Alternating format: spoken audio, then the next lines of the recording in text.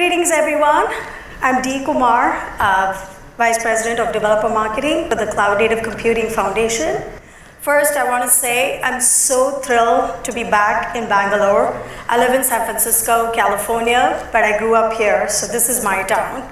So I'm going to uh, say something in Kannada just to refresh my uh, childhood memories. Uh, so, Ellarigu Namaskara. So I head up uh, developer marketing at CNCF. So I'm a marketer uh, by trade, but very much an engineer uh, at the core. So I love working with developers around the globe, uh, building local communities in the cloud native ecosystem. So if you Google digital transformation, believe it or not, uh, you will end up with approximately 300 million plus search results. And yet I'm unable to find a good definition for digital transformation. But as a part of the Cloud Native Computing Foundation, we work very closely with analysts and we also observe the industry. And based on industry reports and everything that we are hearing, there are four major factors or phenomena that are driving this change. So more buzzwords here again, but I'll do my best to get into the specifics. Uh, so the four main factors are economic ecosystems, democratization, acceleration, and collaboration. So let's start with democratization. Why do companies open source projects? So using Google as an example, and Kubernetes, which is the leading orchestration platform, was a Google-led project. Industry leaders like Craig McLuckie and many others, they came together to solve some major problems in the industry. How do we accelerate cloud native computing, whether it's DevOps, microservices, orchestration, containers? How do we create a portability layer for the cloud? And lastly, how do we achieve digital transformation? Where do we begin? Google has been using containers internally for many years, but Google alone is not able to change the broad perspective in the industry around modern applications. So there is a need for industry leaders and influencers to come together to solve the major problems that I just talked about. And the beauty of these industry leaders is they represent the collective views of all of us developers across various companies, IT practitioners, and they also represent real world end user customer use cases. And what that means is it really helps to drive that broader change in terms of how we think and think about modern applications, whether it's hybrid cloud or moving portable units to the cloud, no vendor lock-in, etc. So in order to achieve this broader impact, Google donated Kubernetes to the Cloud Native Computing Foundation. So this led to the birth of CNCF in 2015. And Kubernetes became the anchor tenant for CNCF. CNCF was founded with 28 members. And today, as uh, Dan Kohn mentioned in his opening remarks, we, are, we have 375 plus members and growing. Uh, we are the home to 34 cloud native uh, projects and technologies. We have 83 Kubernetes certified providers, including some of the largest public cloud providers, as well as large enterprise software companies. As you can see from this chart here, the adoption of Kubernetes continues to move to the right. I just pulled out some recent stats for you all today. So Kubernetes has over 100,000 commits, over 25,000 developers, 85,000 pull requests, and thanks to Nikita who pointed out to me that uh, Kubernetes has about 49,930 stars on GitHub. And compared to, I would say, 1.5 million open source projects on GitHub, Kubernetes ranks number nine for commits, number two for authors or issues, second only to Linux. And last year, Kubernetes was the first CNCF project to graduate, followed by Prometheus and Envoy. And again, this year we have two, another, two other projects that graduated, which is CoreDNS and Containerd. The other thing that we're observing from a contribution standpoint, less than 50% of the contributions are coming from the US, so it's more from the rest of the world, like India and China. Now let's talk about collaboration. Why do, how do companies maintain control when all these projects are community driven? So for that, we first need to understand who makes up our community. So the community is comprised of developers, contributors, maintainers, program managers, product managers, community leaders, and they are the heart and soul of the cloud native ecosystem. And Sarah Novotny is a good friend of mine. Uh, she's the head of open source at Google, and she always says, let's see folks take more pride in chopping wood and carrying water. And what that means is there are a lot of I would say, non-sexy tasks that need to happen. And that's why the community, regardless of the companies you work for, we collectively make things happen. And that's the meaning of let's take more pride in chopping wood and carrying water. The other thing I wanted to point out about the open source community is the community again demonstrates a culture of very strong core uh, values. And it's the result of the community's hard work that's led to the rise of Kubernetes massive adoption in production.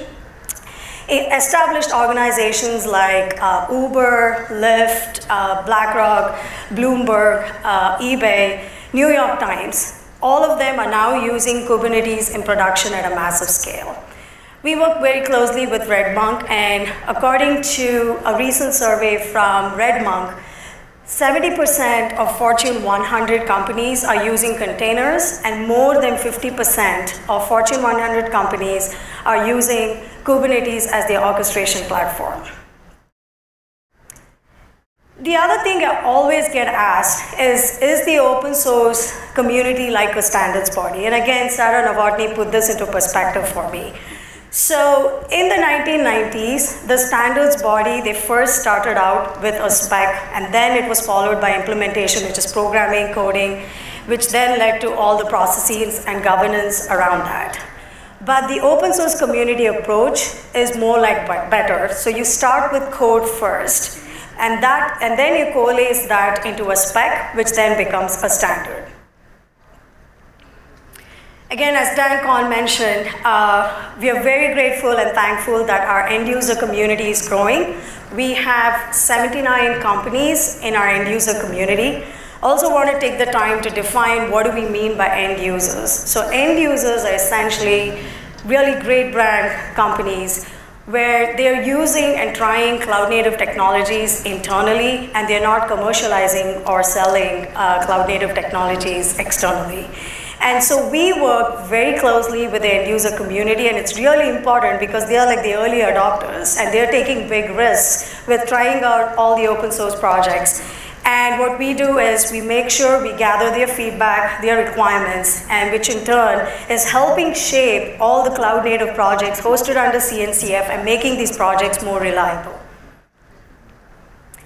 Now, I also want to touch upon, there are not some always, not all open source projects are successful. Uh, successful.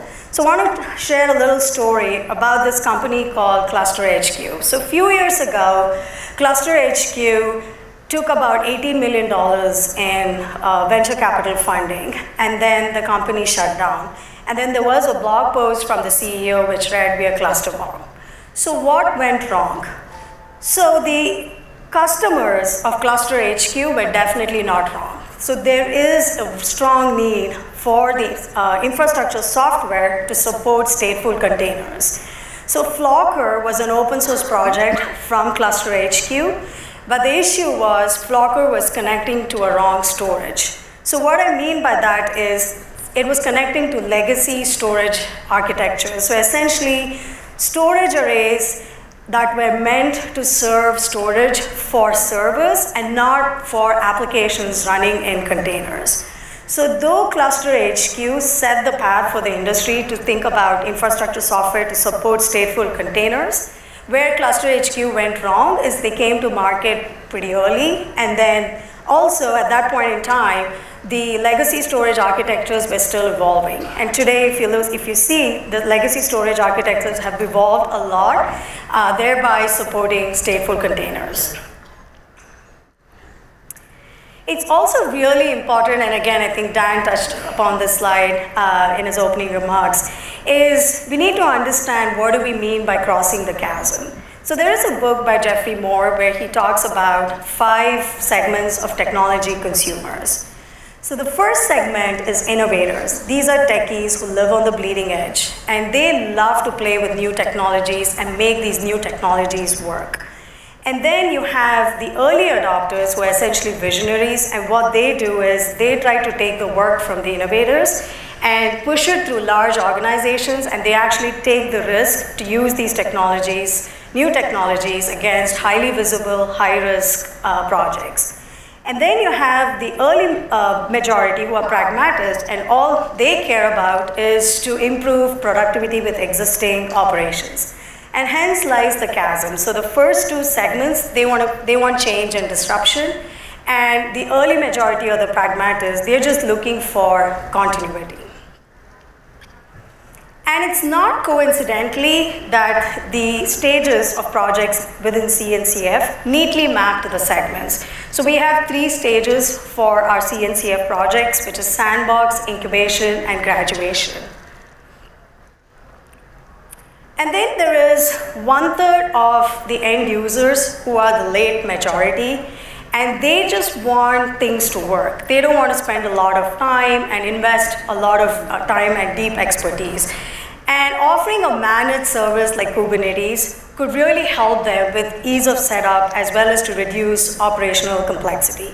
So as technology becomes more and more reliable that allows for the late majority to adopt, that again allows for the influx of new wave of sandbox, sandbox projects, thereby resulting in more innovation.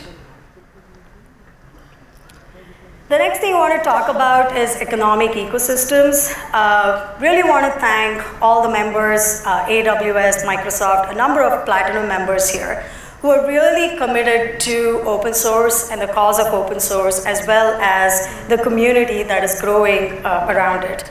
Also want to thank our some of our gold members, all of our gold members, uh, JFrog, DigitalOcean, etc., for really again uh, being a part of this community and believing in the cause of open source. And again, it's because of the support that we're getting from these members, it is resulting in flourishing ecosystems. So thanks to Dan Kohn, who's the creator of the landscape, um, and then the excitement is actually seen in the CNCF landscape where as we have all these members who are coming in and becoming a part of the foundation, as you can see here, there is a challenge. The logos are becoming really, really small. But I think it's a great problem for us to have. Um, and what that is, what that is uh, representative is there is a lot of, there is an increased adoption of cloud native uh, projects or technologies. Uh, so Kubernetes has developed and grown to becoming an economic powerhouse, thereby allowing number of projects to be built around it. And what is, that has done is it's resulted in opportunities for companies of any size to start creating products and services, and thereby that again results in a cycle of flourishing economic ecosystems. I love this slide. This is from uh, Jim Zemlin, who's our executive director for the Linux Foundation. And he really thinks about how do we sustain this innovation. So you have the projects, and then those projects are being used to create products, and then everyone, end of the day, thinks about profits. Uh, so the way uh, we want to think about it is our jobs here collectively is to make sure that these three gears are really spinning faster. And our job in CNCF is to make sure that we host really good open source projects so all of you and all the different companies you're a part of can use the open source projects and then you build products and services on top of it so you can commercialize it, thereby resulting in value, which is profits. And then the beauty of this whole cycle is you then take the profits and you reinvest it back into the open source projects. And what that means is you hire more engineers, developers, means more code, more improvements, and thereby resulting in more products and services. And then it just becomes a virtuous cycle of uh, investment, innovation, and economic uh, activity. I guess you all have heard from all the talks uh, since morning the path to cloud native can be pretty daunting. Um, and so one of the things uh, we have done as in, in, CNCF is we've created this tool, which is the cloud native uh, trail map. And essentially, this is a, I would say, a get started guide. It can be more like a pocket guide if you're just thinking about digital transformation. Where do I begin? Again, it's not like in a specific order. Uh, there are innumerable paths to get on this journey. It can be very specific to a different use case. You can perhaps have step one and jump to another set of steps in the trail map. So the way we came up with the trail map is to kind of think about when you're going on a hike, uh, you essentially have a map and then there are different trails to pursue. Um, so we use that as an analogy to kind of simplify this whole journey to cloud native. And also, having talked to the end user community, uh, I can say that this path is kind of more uh, well traveled, well tested, and well trusted. So there are like 10 steps that we define as a part of the cloud native trail map. Uh, so I quickly want to go through the 10 steps. So the step one is containerization. So you can do cloud native unless you containerize your application. So it doesn't matter what size of application is, any size application will do. And even if you have a PDP-11 old code running in an emulator, you can still containerize that. Uh, Ticketmaster is a good example where they did have PDP-11 code running and then they were very successful in containerizing uh, their application. The second step is often there's some confusion where once you containerize, people immediately think that you need to orchestrate it, uh, but then there is a set of processes. You do need to set up continuous integration and continuous delivery. So the changes that you make to your source code results in containers that are automatically built, uh, tested, and deployed across various environments, whether it's uh, uh staging, uh, moving to QA, and to production. The next thing you want to think about is to set up uh, automated rollouts, uh, rollbacks, as well as testing. Uh, CNCF, we don't offer a CI/CD solution, um, but there are some solutions to think about, which is Jenkins, uh, JFrog, and Spinnaker. We did announce a new foundation called the CDF at the Leadership Summit a couple of weeks ago, uh, where we're primarily going to be focused on uh, the CI/CD lifecycle and the projects and ecosystem around that. Step three is orchestration. So pick an orchestration solution. Uh, Kubernetes is definitely the leading orchestration platform. There's a certified version that's available, but you can also think of other orchestration options that are available, which is Docker Swarm, uh, Mesos, Pouch, Nomad, etc. Step four is observability. Observability is essentially table stakes for cloud native at scale. So you want to then think about monitoring, logging, as well as tracing. Uh, for monitoring, you can consider Prometheus. For logging, Fluentd. And for tracing, you want to look for an open tracing compliant solution like Jaeger. Step five is service mesh. I think we all know service mesh by its name says that it's all about connecting services, discovery of services, uh, health check checking, routing, and it's to use for monitoring ingress from the uh, internet. Some of the solutions to consider here are Envoy, Linkerd, and CoreDNS. Step six is networking. So it's really important to enable a more flexible uh, networking layer. So it's important to uh, look at a CNI compliant network project like Calico, uh, WeaveNet, or Flannel. Distributed database, again, if you're looking for more resiliency and scalability, you will not get that with a single uh, database. So you want to look at Vitess, which is a distributed database. And it's really a good option for running uh, MySQL at uh, scale through sharding. Step eight uh, is messaging. So again here, when you're looking for higher performance than JSON REST, uh, gRPC is a good solution to look at. NATS is a messaging system. Again, it's more middleware oriented. It has a publish and a subscribe kind of messaging uh, system. And it also is applicable and takes care of many newer uh, use cases like IoT. Container runtime, uh, you can use alternative container runtimes. Uh, I think it's important to look at an OCI compliant version like Containerd, Rocket, or CRI-O. Alibaba's pouch container runtime is also a good option. The last step is software distribution. Again, if you need to do a secure software distribution, you might want to evaluate Notary, uh, which is based on the update framework, which is called TUF. Uh, so TUF again is defined for a really large part of a large uh, software distribution framework. And the beauty of TUF is it's very secure and the way it does that is it incorporates cryptographic keys uh, which again has different kinds of keys for content verification, uh, content signing. And then uh, the TUF framework is designed to more or less address a lot of the different uh, use cases in terms of security uh, attacks. And uh, TUF is being used in production by Docker, uh, VMware, uh, Leap, and other companies that, that are listed here. Harbor is again a secure container registry, and now it's a part of uh, a CNCF project. So the last uh, factor I want to talk about is acceleration. So this is really good news. Uh, we again in CNCF, we do a survey uh, each year. We do it three times uh, in English as well as in Chinese. As you can see, some amazing results here. Uh, based on the survey results, when we talk to enterprise companies, where we really focus on developers and IT practitioners, uh, we are seeing that cloud native technologies in production has grown over 200%. And some of the main benefits that folks are seeing in the cloud native ecosystem is primarily around faster deployment time, improved scalability, and of course, cloud uh, portability. Lastly, I wanted to just uh, share a little story from Pinterest. Uh, most of us have heard of Pinterest. They've been in existence for, uh, I would say, eight years now, and they've grown so fast. Uh, so that has resulted in about thousands of microservices and a lot of infrastructure layers that are old.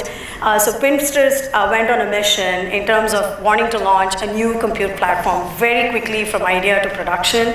So they went about doing that by putting all the thousand microservices inside of Docker. And once they did that as a part of phase two, they started evaluating orchestration solutions. And then they settled on uh, Kubernetes. And one of the use case they kind of you wanted to uh, use is to make sure that uh, the Jenkins workloads, uh, which is essentially serving the Pinterest website, it was a static uh, cluster, but then they moved that to the Kubernetes environment. And what they saw was some amazing results that I wanted to touch on is they saw, a, they were able to reclaim 80% um, of the capacity during non-peak hours.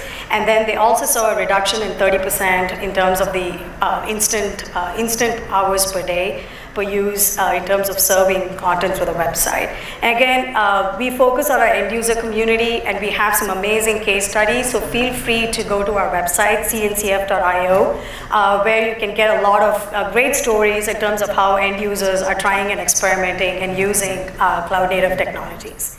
Thank you.